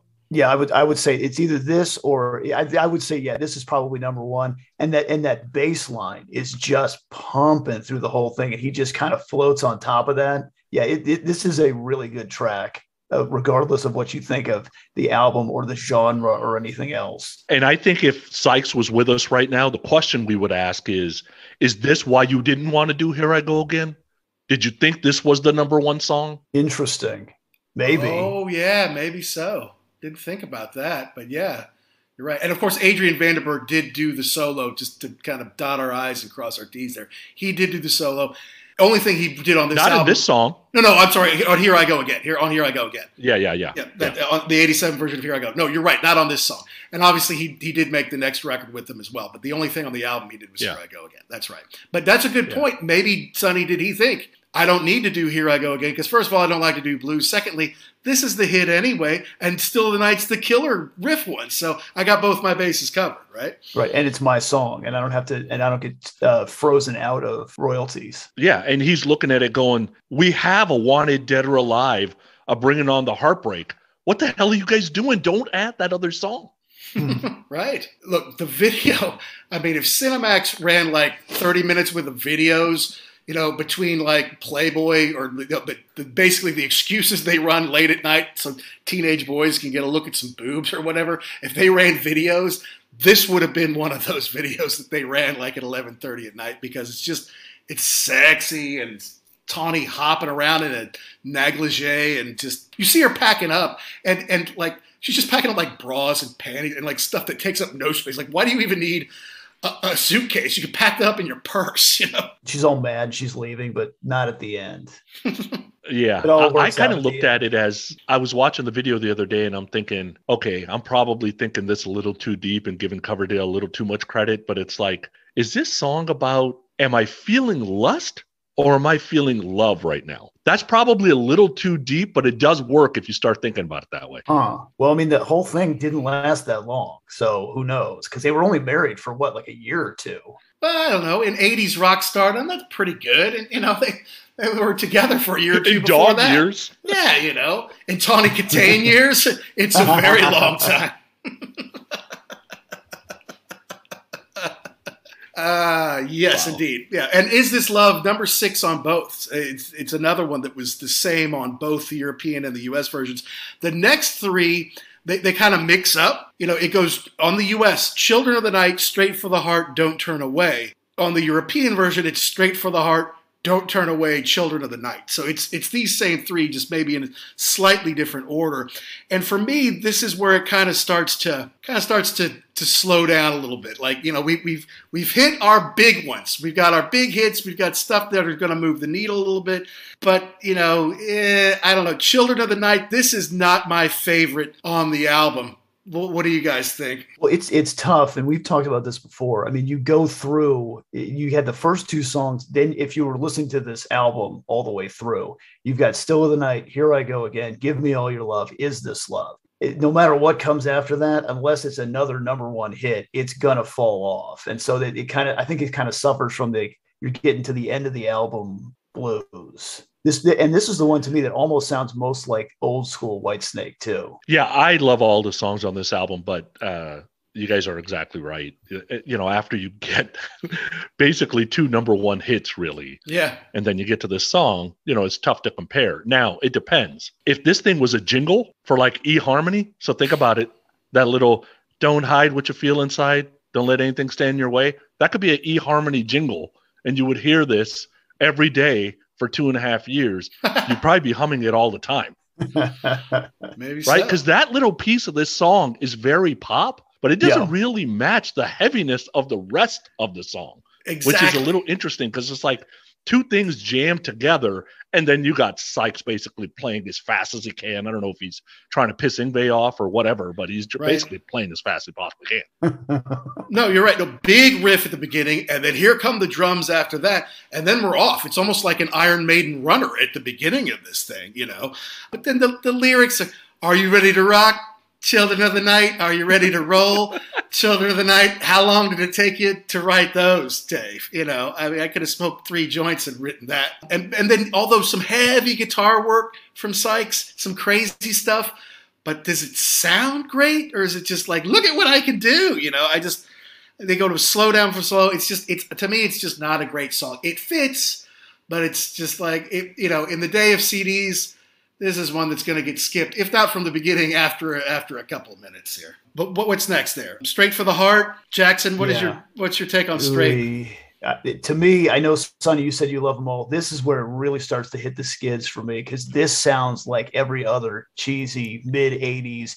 Anybody could have done this. It could have been a journey rec- a journey track off of raised on radio or something like that. I mean, it's not it, the rest of the stuff that you had on this record. This just sounds like you kind of were you just kind of gave up. Like, oh, here's something to put on here. It just sounds it just sounds generic to me. Yeah, to me, all those generic albums, I absolutely love them all. That's the thing because it came all in my teen years. Right, yeah. you're talking '84 to '89 anything that was coming, I was consuming. And this fits absolutely straight into the middle of that. And Sykes absolutely makes the song, even though it's not super edgy and the synth kind of calms it down a little bit and it's a little more Bon Jovi. Sykes is making the song.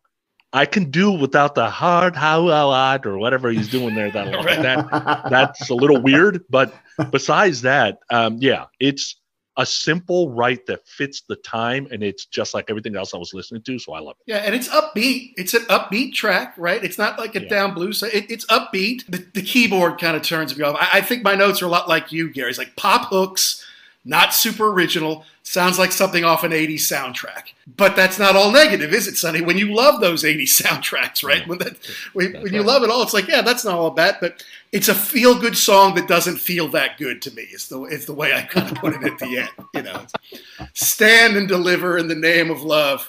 Yeah, I'm gonna sit down. I think. Yeah, thanks though. but you got to you know, it, it's it, it could be worse. And then don't turn away.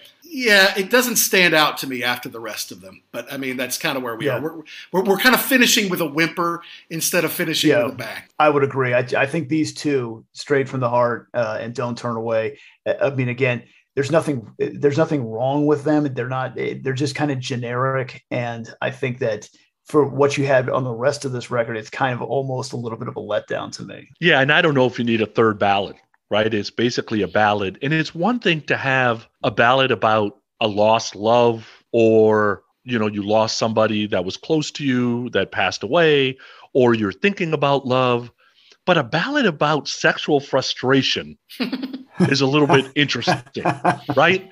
Like she's going through all this stuff, but all I want to do is make love to you, is basically what he says on this thing, right? So that's a little weird, right?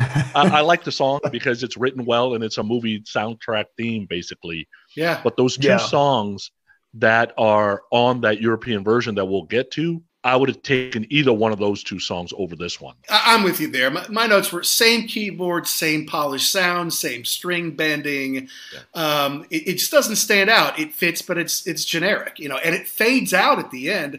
You know, it, it's just it's almost like it's a throwaway song, and I can't believe Kalodner liked this better than he liked because it was Kalodner's choice for the American version. He liked this more than Looking for Love and better than You're Going to Break My Heart, which both ended up in the European version. So that was surprising to me. It's like Kalodner's not just doesn't have the Midas touch for everything. He doesn't get everything because I think he was wrong about that one. I would have taken. I'm with you, Sonny. Either of those songs over this one. This this was like we need one more. You got anything? Great. Slap it on there. We got to ship this thing. Yeah. Coverdale has said in interviews he was surprised Children of the Night made the album, that Looking for Love should have made it. I can imagine Kalodner saying, Of course you like Looking for Love. It sounds like old Whitesnake, you know, the ones that you didn't sell and you still have 10,000 right. copies of in your basement. it's that Whitesnake. That's why we're not putting this on the record. What, get, what gets me is you're going to break my heart again. Because to me, that's better than crying in the rain to me. I absolutely love that song. That song had a chance to be a top 20 hit. You're going love to break my so heart again? You think that that should have been and been uh, a single too, huh? Yeah, yeah. I love that song. I don't know. To that one, I mean, it fits in. It, it fits in perfect on the record. They should have had it on the US version, in my opinion. And, you know, I mean, if you're cruising around town in your IROC Z in 1988 and you've got your cassette in there, you know, you know, you don't want to rewind and fast forward. You want everything to have a similar sound so you can just crank it. Maybe you turn it up louder for the bigger hits or whatever. But I don't know. It just, it, to me, it's good playing and it fits and it just kind of ended. That song just kind of, and it was over. And it was like, ah, well, I don't know if they really finished that or if it's like, ah, we don't need 11 songs. Just, just hurry up. We got to get it done kind of thing. I don't know. But to me, the, the one that they really should have put on there was Looking for Love. It's slowed down. It's not a ballad, maybe a power ballad. It's a little bit like Love Bites. It would have, you know, by Def Leppard. It's kind of got a little bit of that quality to it. Coverdale liked it. Kalodner didn't. It was too long to have been a single, but it could have been edited just like Still of the Night was. So, I mean, I don't know. I, I feel like that was a miss leaving Looking for Love off the North American version. Yeah, I agree with you. Listening to that, if you if you go back to like iTunes, they do put the uh, the other two tracks on there. And yeah, it, it, seems like they kind of fell off and then that one came back in. So yeah, kind of a head scratcher on why they did not include that. Yeah, And there's not very many albums uh, that I have heard that. Uh, so the US version is Desert Island for me. Mm-hmm. Like this is one of the best albums of my lifetime. And then to have two other songs that would have still made it a Desert Island album, right? yeah. It's like, oh my God, you guys hit on 11 amazing songs. Yeah, because they still fit in. It's still very much the same sound. It's not like we were trying something different, or we did this cover song, and oh, it's not too bad. No, it's original. It sounds like the rest of it. It sounds of the era. And if you liked songs six through nine, you would like songs 10 and 11 too. You know, it's just those songs one through five are so huge, right? They're so iconic. And and, and, and move the needle forward. Whereas like the, the last few songs of the album, it's like, yeah, they're of the era, but yeah, you know, we just we needed another 20 minutes, basically, or whatever. We another 15 minutes for the album. Fair. And then you get to the cover art too. It didn't have the white snake with the white snake on it. They went to Canadian Hugh Syme, who's done a lot of Rush covers, who we are huge fans of on this show, and kind of gave him a new 2.0 look, right? Something kind of refined. It's marble. It's kind of got this gold stamp. It's got a little Latin on there. WS, kind of put them in a new stratosphere. We're not just down home blues people. We're kind of have a certain air about us now. I mean, it must have looked good, you know, on the new albums rack in Target back in the day, Sonny. Yeah, the album cover, first of all, Slide It In is one of my favorite album covers of all time. Love Hunter. Good mm-hmm. Lord. I mean, those are awesome album covers, right? So this album cover, it, it reminds me of two things. One is I stay at Caesars a lot in Vegas and mm. you could literally put a faucet in the middle of that thing, and this would be the shower. Like that's kind of the crackle, right? Yeah, right? marble, and yeah. And the other thing, the other thing it reminds me of is National Treasure. It feels like that white that WS. You would just turn it and push it, and like a door would open. yes, absolutely. right. The secret so love chamber. Simple. Yes. yeah. Super simple, and it allowed them to basically not have to have the band's picture on the front or back so you can change the band members. So my guess is this decision is made when Dave's thinking, uh, I'm not going to have the same band member. So we probably, if we're going to have pictures on the inside, whatever, but the outsides, probably can't have these guys because I don't think they're going to be in my band. That's right. And, and, come up with a logo, and then the logo is eternal, right? And because people always change it in yeah. out of bands, but you got a logo, and whoever's you know playing guitar, playing drums, we've got this new Whitesnake emblem that is iconic now. So yeah.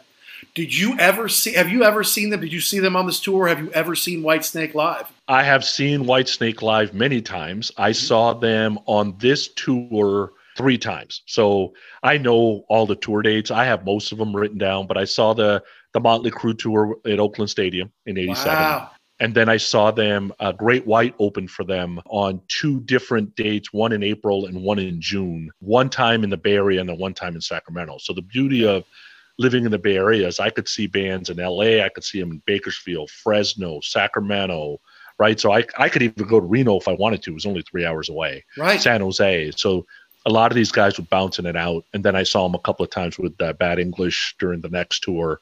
And then saw them 13 years later and they still rock playing with Scorpions, right? So that's awesome. I mean, they were great live in the day. There's and Steve Vai's my favorite guitar player, so there was no way when when Steve Vai joins, I'm like, oh, this is even better. I know. I remember when Steve Vai joined, I'm like, oh, they're just up in their game, aren't they? I mean, they just went from having, you know, a couple of badass shredders. I didn't even really know John Sykes at the time because he wasn't in the videos, right? And I didn't know Tygers of Pan Tang, so I wasn't aware of him. But I did know that who Steve Vai was. I'm like, oh, and now they're adding Steve Vai. How awesome is this going to be?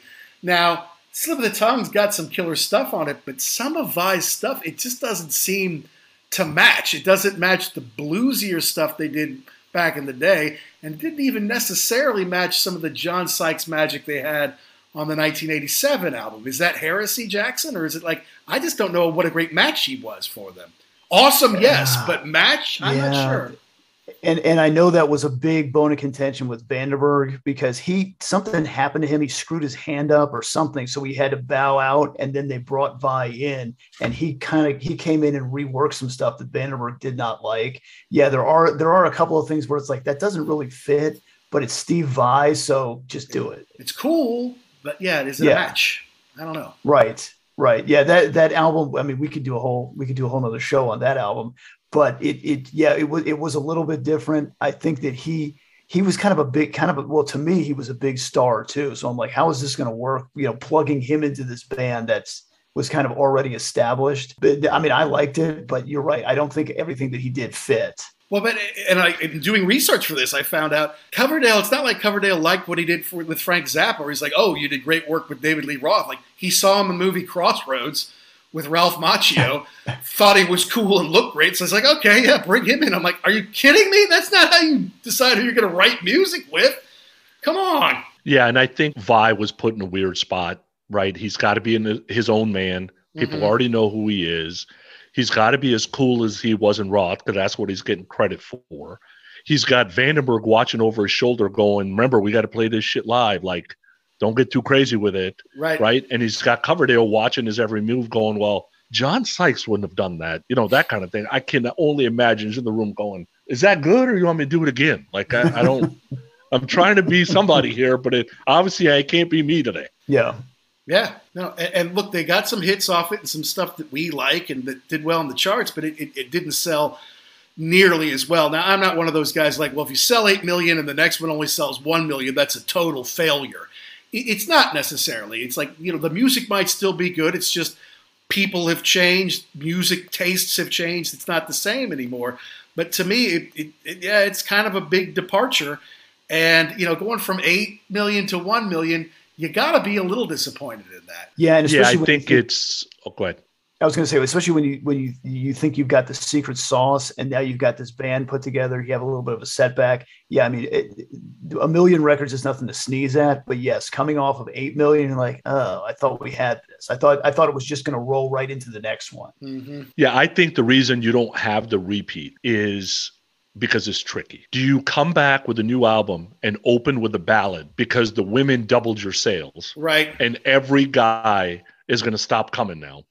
Or do you open with a rocker to remind people you still rock and the women immediately lose interest in you and they're like okay well now there's plenty of other ballads to go to and since you didn't open with one i guess i'll go to poison right right or whoever is out there at the time. I think it just stuck, and it's hard to catch lightning in a bottle twice. It's just hard. It is, and even though they reworked "Fool for Your Loving," which is uh, "Fool for Your Loving," it's it's killer. I mean, I think they did a great job with it. Yeah, "Fool for Your Loving," great Whitesnake song, heavy, awesome. I don't know. It's just uh, the rest of it didn't have the same magic that the that the that 1987 did. So hey, I'm glad they had that time and they captured it and they fit in and they benefited from it. And you could argue they're all still benefiting from it now. I mean, as much as you might like Saints and Sinners, that's not the reason Whitesnake is still touring today. Sonny, it's it's this record right here. This is the one. Yeah, it's the record, and it's David Coverdale knows how to stay in, uh, well, stay relevant. I guess mm-hmm. is the best way to put it. Because how many live albums have they released in the last 15 years? Right. Like it seems like it's the same thing over and over and over, reliving the 80s. And Homie does not miss a 20 year, a 25 year, a 30 year, a 35 year. Like he's he's got vaults in his vaults, it yes. seems like, right? So he's putting everything out there. And so I got a feeling he must have figured it out early that I can live on this for the rest of my life. Yeah, and he even did those those uh I don't even know what you would call them, like remix or redo. The, yeah. There was the Love album, the Rock album, which if you listen to the Rock album, Judgment Day from Slip of the Tongue is way better off that one. You just have Tommy Aldridge just beating the drums on that one. Yeah, did you pick those three up, Sonny? I think there was was it blues, rockers, and ballads. Is that right? Oh, I have it all. I have yeah. everything Whitesnake's ever put out there. That's why I know there's 83 live albums because I keep buying them going, God, Dave, you don't even sound good on this. Why did you release like that one? Uh, there's a 89 90 Slip of the Tongue live album. I forgot what the live album was called. I bought it because I'm like, oh, I want, I want to hear Vai like live because you right. don't really have a way to do that, right? And I'm like, man, Vai sounds great. Coverdale doesn't sound that great singing it. And right. I'm like, was it the one from Donington? Yeah, that's the one. Because I've seen I've seen video from that, and he sounds Coverdale sounds horrible on that. I don't know if it was a bad yeah. day, what was going on, but he's yeah. Everybody else sounds the band sounds great. He sounds horrible. So would you still go see them now, buddy? I mean, would you still go if like if, if Whitesnake's coming to town, maybe on their own, or maybe as part of a package of other, you know, rock bands? Would you go see him today? Hundred percent you know yeah. they had the, they have this reunion tour out there. I know they've canceled a couple of dates uh, uh, overseas but mm-hmm. they're only playing i think it's like 30 dates. So i'm gonna have to probably travel to see them because they're not hitting everywhere. Right. And you know coverdale's you know he's 70 plus right? So he's not gonna hit the same notes and all that. But his band is still outstanding. And there's no reason to miss the band. And the music i mean it's it's the music of my lifetime. Now I won't go see Crue because Vince has not kept himself in shape. Coverdale right. at least is in shape. He can still sell it. He can sing it. Eh, they'll be tuned down. He'll talk some of the stuff. He'll point the mic to the crowd every once in a while. Yeah, sure. but he's not gonna be singing every fifth word. Right. Right. right. So and love Mick and Nikki and Tommy, but they ain't the guys that he's got in his band. So it's worth it just to go see the band. And the gals, he's got a woman on bass now who kills it, who's got a lot of funk on her, right? She's yeah. really good. So no, that's cool. I was just curious about that because you know because being in London, everybody comes to London. You know, if you're going to tour yeah. the UK or you're going to tour Europe, you know, I could go to shows every single night of the week if I had the time and the money, which I don't. Uh, so I kind of have to pick and choose. And I always wonder, like, well I've never seen Whitesnake, and I know it's not the classic lineup, but I'm like, it's got Coverdale. He still does all those songs, you know. Maybe if they, you know, maybe is that worth seeing? So I got to talk to someone like you who knows their stuff inside and out to know if it would be worth doing. Yeah, Coverdale's a smart guy. He's going to do the songs everybody wants to hear. He'll add one or two in there because he knows there's, you know, diehards in the fan in the fan base that you know wants to hear a deep cut here and there. Mm-hmm. But you're not getting Still the Night, Howling at the Moon, 1987, Holding the Robert Plant note. But you ain't getting that from Plant either. Right. Right. So it is what it is. He, he sings bluegrass songs with Alison Krauss now, dude. He, he's not the golden yeah. god.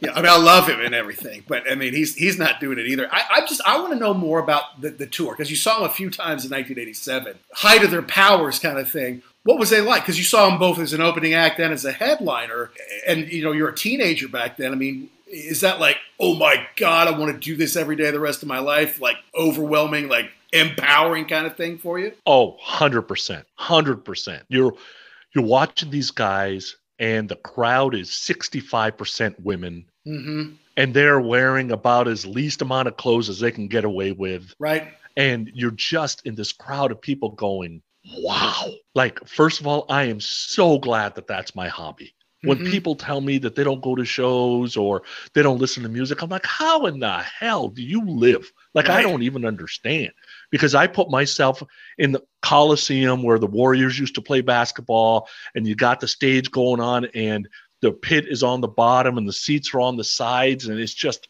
power amongst power in that room is unbelievable. Yeah, nothing brings people together. Nothing creates an energy like a good rock show does, man. I mean, there's nothing like it, you know. And, and, look, today, these days, honestly, I rarely stay to the bitter end because I'm like, I, I gotta beat the crowd out of here. I'm not sitting in traffic for an hour. I know what the set list is. If I've seen them do the last song, we're leaving during the second to last song, and that five minute head start saves me an hour, you know. But then even after I get home I'm not like, okay, good, I'm home. I want to go to bed. I'm like, no, now I'm home. Whereas Jackson and I would then go to the bar and hang out till three in the morning back in the college days. Now I'm home, but I still got that concert buzz, right? My ears are ringing and I'm in a yeah. good mood. And I'm like, all right, um, let me listen to the tracks they didn't play, or let me listen to the live album they did in '87. So I'm not going to bed. You know, I'm staying up till two in the morning anyway. I'm just doing it in a different way now because you can't beat good live music. Yeah, and I don't go to a lot of uh, stadium type concerts anymore, though. I I like going to the clubs. I like going to the theaters. There's a Hard Rock uh, in Cincinnati now, and they have probably a five thousand seater upstairs. Oh, I didn't know that. And I just saw a show there and uh, it's brand new. I guess it used to be called Jack's, but it's a Hard Rock now. Okay, yeah, sure. But I just saw a show there, and it, it's amazing because to me, when you get down to somewhere between 300 to 5,000 people, you've pretty much gotten rid of the folks that only know rock and roll night. Here I go again, and you know, uh, I don't know, rock you like a hurricane, right? Like you got the folks that know the stuff. And it's more of a i don't know community right? That has the right. same hobby you do. Yeah, it's funny you say that because i went to go see the cult a couple months ago in orlando at the house of blues. A tiny place for them but every single person was there had the shirts on. Yeah. they were all there wasn't any casual fans. So you're right. I mean everybody was there. Everybody knew every single song. It was great and then I saw the the Motley Crue Def Leppard stadium tour, and I thought to myself, this is probably. I mean, it was cool to see, and and I took my son, and that was the first one, the first big show that he'd ever seen. But I'm like, yeah, this is probably the last one for me because you're right. Being in a club, it's more intimate. I mean, you're a thousand miles away at the stadium tour. The sound was actually not bad, but yeah, the the whole atmosphere is is better at a smaller venue. Yeah, you're gonna have to go to Bogarts, uh, man. I don't know if you've already been to some shows there, yeah. but but you know, I, I saw the Cult a couple times at Bogarts. Great, great place to go. I, they used to, I think, it was called the Taft Theater. I think they may have changed the name, or you know, it's probably now called the, the PNC something or something like that. But um, there's a couple, and then obviously the Riverbend Amphitheater is great. So you're you're in a good spot there. Not everybody comes to Cincinnati the way everyone comes to like L.A. or San Francisco living in Louisville, you know, it's kind of the same way. But sometimes I go to Cincinnati, sometimes I go to Columbus, sometimes I go to Indianapolis, sometimes I go to Nashville. All those places are one and a half to three hours away from where I was, you know, and so you you might have to do a little bit of that, that in Cincinnati, but I'll tell you, in Ohio, they come. I mean, Cleveland and Columbus and in, in, Cincinnati, they don't. Nobody skips all of those, right? You may not hit all three, but nobody skips all those. So you're still going to have great opportunities to see band. And Indy's not that far away. Lexington, Kentucky, which doesn't get that many, but that's not that far away. Louisville's not that far away. So are you going to do? Are you going to do louder than life down there in September? In Louisville? I'm not much of a festival guy. Yeah, me neither. I, I, I do the Monsters of Rock cruises instead. I want to be on a cruise mm-hmm. if it's going to be a festival. I got you. Um, but like, there's the Blue Room here. I think it's called the Blue Room. It's in Hamilton, I think, or something like that. I went to go see a show there. JD Legends has Lita Ford and Firehouse next mm-hmm. Friday. I'm going to go see. Like these places, you're talking about 500 people. Yeah, so much better, isn't it? yeah, oh, so much better. But the festival, come on, like eh, even the Monsters of Rock cruise, I've only been, I gotta like at least half the bands, otherwise I don't go to those, right? Because I want to see a bunch of bands. Absolutely, you know, and it's hard for me to give six straight hours. I mean, you know, pl- plus I got to get down there, plus I got to get back. Plus, in Louisville, Kentucky in September, it's 100 degrees. And it's like, you know, even if the three bands I love, if there's four bands I can't stand, it's like, am I really going to go? I don't think so, you know? So I, I, did go to BST Hyde Park here a few different nights, but that's really just one band. Like, I get in, I see the Rolling Stones, I get out. I go see Duran Duran, I leave before Rio comes on, you know, kind of thing. Because I don't want to be leaving with 85,000 drunken idiots, right? But you're right, club shows, and it's just, I don't know, I'm just so happy to have music back because over here, especially Sonny, the lockdowns were a lot tighter and they, they canceled everything over here basically for a year and a half, two years. So now that it's back, you know, in a month, I'm going to see like five or six shows because, uh, you know, I got to squeeze it all in. But I know that you, like Jackson, like me, like so many of us who love rock music, we're just happy that the live music is back, man. Yeah, that's what's so great about the cruises. So you could see Skid Row at eight o'clock at night. At nine ten, Faster Pussycats playing. You can go and go gamble for a while. at ten o'clock, Richie Kotzen's playing. You can go to Richie Kotzen. And at eleven o'clock, you can go drinking with everybody at the karaoke bar and catch a Atomic Punks at 12:30 in the morning, Van Halen cover. You know, so you can go to the room anytime you want, go eat anytime you want, go gamble anytime you want, go see a show anytime you want for five straight days. Right. So there is no going home. There's no getting in a car. There's right. none of that. And there's 50 bands. Right. So I mean, where else can you go that that's six days? Nobody's going to pay that kind of money unless they're true fans. Mm-hmm. So you're basically on sea with 3,000 people to have the same hobby you do. It's impossible. You would say if you were into the bands, if the band roster was something that you like, it was definitely worth going on the cruise. Yeah, yeah. I'm, okay. I'm 50 50. If it's half the bands that I like and would go see, then I'm in. Okay. And there no, was okay. a couple of cruises where like Vince Neil was the headliner. I'm like, no, thanks. but there must be, even if you're 50 50, there must be some stuff that you see on the cruise where you say, wait, I would have said no, but now that I hear them play, okay, no, you got a fan now. And the other way, right? So I'll give you an example. I saw Honeymoon Suite, saw yeah. Honeymoon Suite live. I'm like, oh my God, I had no idea they were that good. I oh. thought saw Thunder live. I'm like, my God, dude, why don't these guys play the US? These guys are awesome, right? But then I remember seeing Lita live and I'm going to go see Lita again because I'm just a Lita fan. But I'm sitting there going, these songs are not that great. Like, what the hell? And I'm like, oh, I was listening with my eyes. That's right. now I remember. Yeah. I watched the video, but I didn't listen on the radio. Yeah, that's right. That's the reason. We, look, we asked you for an hour. You gave us two. We, we really appreciate it, Sonny. Can you tell everybody about where they find you on Growing Up Rock and Album Review Crew and all that? Yeah, the easiest thing is hit me on Twitter um, or growinguprock.com. I'm with the Shout It Loud Loudcast guys doing uh, album review crew, which is fun, and uh, live on Facebook Sunday night, 7 p.m. Eastern. We do podcast Rock City.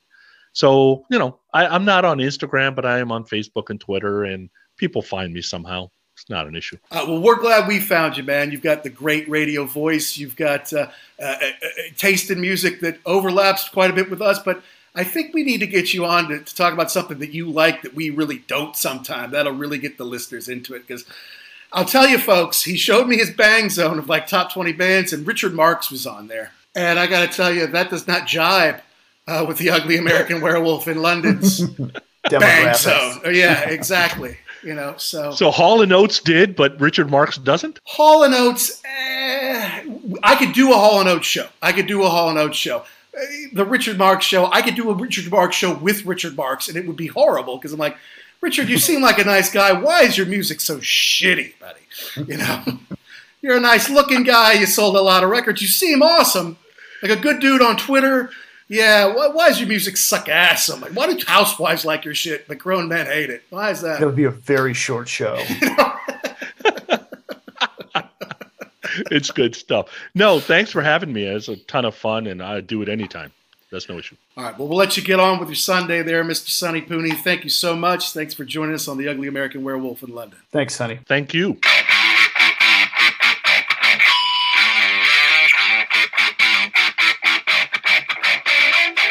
Well, that wraps up a very long 88th edition of the Ugly American Werewolf in London Rock podcast. Can't thank Sonny Pooni enough for coming on the show and imparting all his knowledge and experience to us. Great guy who's a huge rock and roll fan, and that kind of mid to late 80s hard rock, I think that's just what he loves. It's his thing. He's an expert in his field, and he's had a lot of experience, been to a lot of shows, has a lot of records, grew up during that time, and uh, obviously has a couple of great, great podcasts like Growing Up Rock and the Album Review Crew. Go find Sonny Pooni however you do it.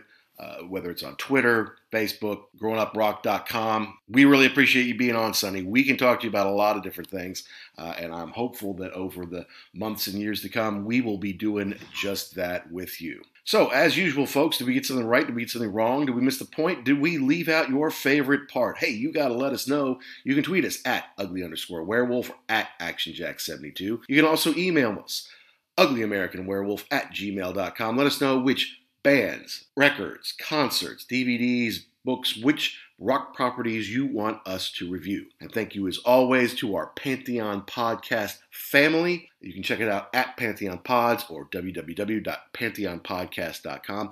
And of course, thank you to our sponsor, rarevinyl.com or EIL.com, where if you use the code podcast, you can get 10% off your favorite rare, hard to find, and pristine records, whether it's vinyl, CD, singles, whatever you might be looking for. On that note, I hope to have somebody from Rare Vinyl on our show here before too long to kind of let you know what's going on there and what they do at Rare Vinyl, how they take good care to find the best quality and classic records out there that people are going to want. But I don't know what's coming next week. There's a lot up in the air right now, a lot going on in the Wolf's Den here. So you're just going to have to tune in to find out. But please do tune in and wherever you get your podcast, be it Good Pods, be it Apple or iTunes, Amazon, Google Play. It doesn't really matter. If you like the show, please do us a favor, give us a positive review. It just helps us find more rock and roll fans like you. And if you send it to us or we get wind of it, we might just read it here